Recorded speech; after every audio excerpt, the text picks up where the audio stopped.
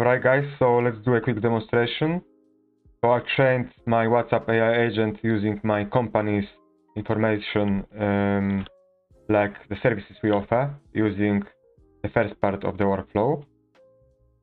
So now when I click on the test workflow, it's waiting for the trigger to fire in the second part of the workflow, with this one. So let's simulate a message. Uh, imagine a client type something like, what services do you offer?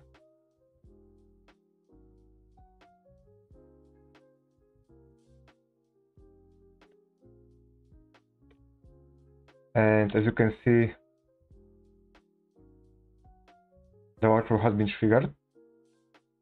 And now AI agent is working on a response to the user. And yeah, Adaptify AI offers a range of services designed to enhance business operations and customer engagement, including etc.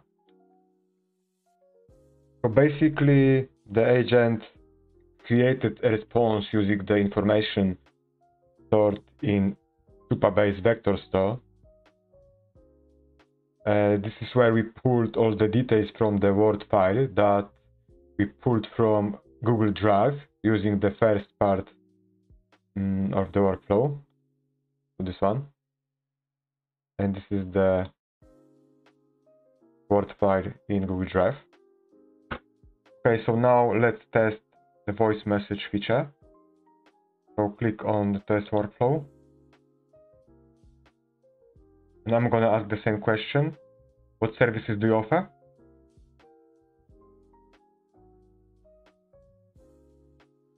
And we should receive similar response from our agent.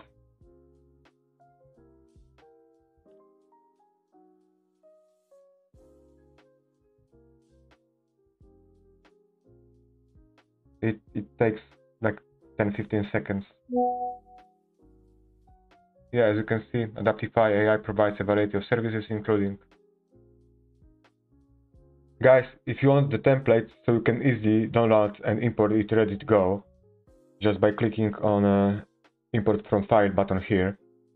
Just subscribe to my newsletter, the, the link is in the description below. I will be sharing more awesome solutions like this, completely free, so you can use it for yourself or sell it to your clients. Hi guys, just a quick intro. I'm Damian. I am an AI and software engineer. I've been running my AI automation agency called Adaptify AI for almost two years now. I've been programming for almost 10 years and have a degree in software engineering. However, on this channel, I will teach you how to build AI agents and automations using no-code or low-code tools, so everyone can benefit from this amazing technology. So don't forget to subscribe to my channel and let's get started. In this video, I will walk you through how to set up a WhatsApp AI agent that's trained on your company's data and can retain conversation history. So you can set up set this up for yourself or even sell it for your clients for thousands of dollars.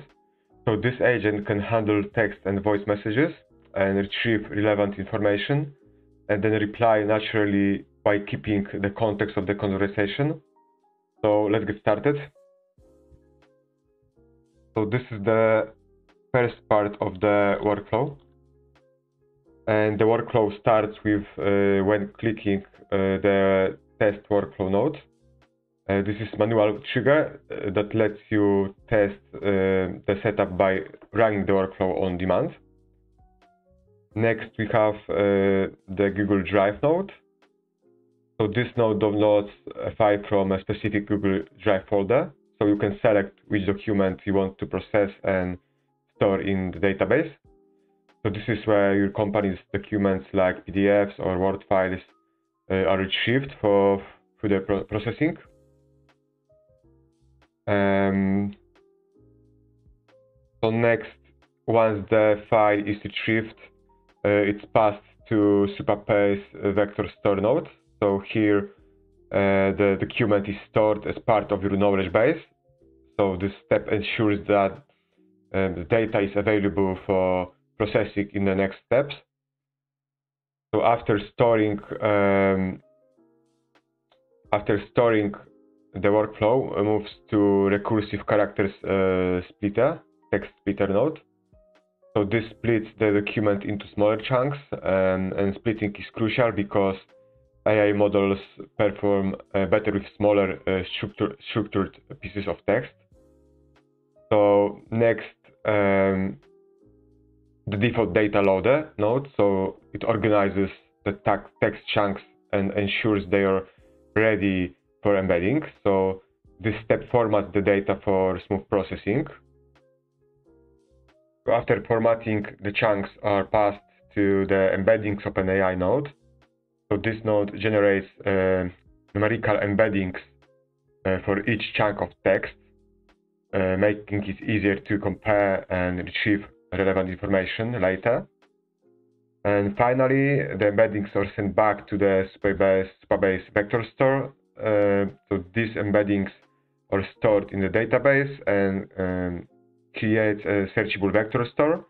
So this is essential for uh, enabling, enabling your AI to retrieve the right information when uh, queried. So this is the second part of the workflow. Uh, so the workflow starts uh, with the, the, WhatsApp trigger node. Uh, this listens for incoming messages uh, like text or audio and from from your clients on, on WhatsApp. So one once a message is received, it moves on to the next steps in the workflow. So the trigger connects to a split out message parts node. So this node checks whether the incoming messages uh, is text or audio. So um, if the message is uh, an audio, uh, it's passed to the get audio URL and download uh, audio nodes. So these nodes uh, fetch and download the audio file, file and then Google Gemini audio nodes um, processes it to transcribe the voice into text. So transcription turns voice messages into uh, text so the AI can process them like regular text messages. Next, uh, once the message is transcribed, or if it's already text, it goes to the get users message node, and this node organizes and formats the message um, pulling out important details like the type of message, the text content, and who sent it. So it extracts the sender's phone, phone number and message text, so they are ready to use in the next steps. So the information uh, go to um, mm, AI agent. In this case, is AI tools agent. So next, the Postgres chat memory node comes uh, into play, and this node lets the AI remember the conversation history, including previous messages and context, like the client's name or, or earlier questions. So this basically this makes for follow-up questions easy to handle without the client needing to repeat themselves, and it keeps the interaction feeling natural. So now we move to Supabase Vector Store.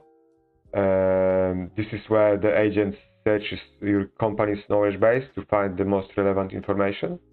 So it works with uh, embedding uh, OpenAI model um, to match the client's questions to sort knowledge and pull up the best possible answer.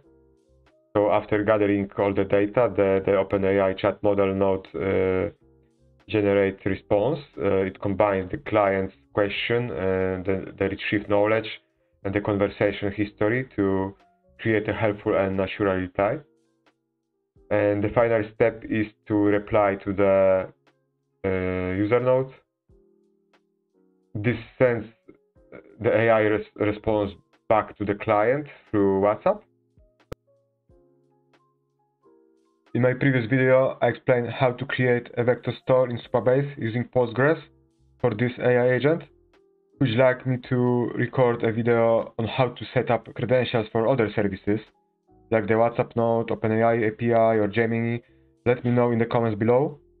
Also, if you found this valuable, please leave me a like. It really motivates me to create more videos as I'm just starting my YouTube channel. I've got a ton of unique AI solutions and automations to share with you, and you won't find anywhere else because I built them for myself, not co- copied like others. Thanks for watching, and I will see you in the next one.